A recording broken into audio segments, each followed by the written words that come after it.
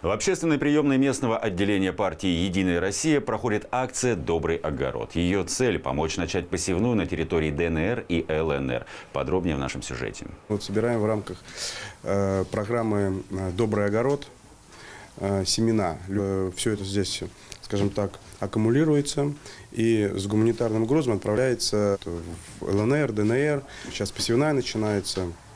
Каждый житель округа может участвовать в акции. Принимаются семена и саженцы всех плодоносных культур. Гуманитарный груз отправится как на сельскохозяйственные поля, так и в частные садоводческие товарищества. Программа федерального масштаба проходит на базе приемных партий «Единая Россия». Вокруг этой акции сплотились депутаты абсолютно всех фракций. И у нас, что касается и нашего местного совета, городского округа Люберцы, и Мособлдумы. То есть мы все работаем единой э, командой в этом плане, что касается гуманитарной помощи, невзирая на партийную принадлежность.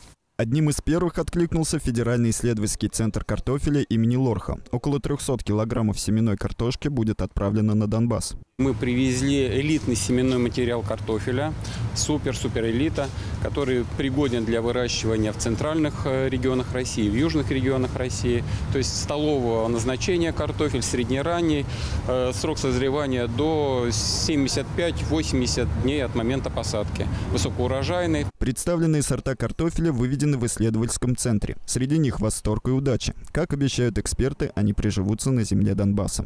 Дмитрий Гринчев, Денис Заугольников, телеканал ЛРТ.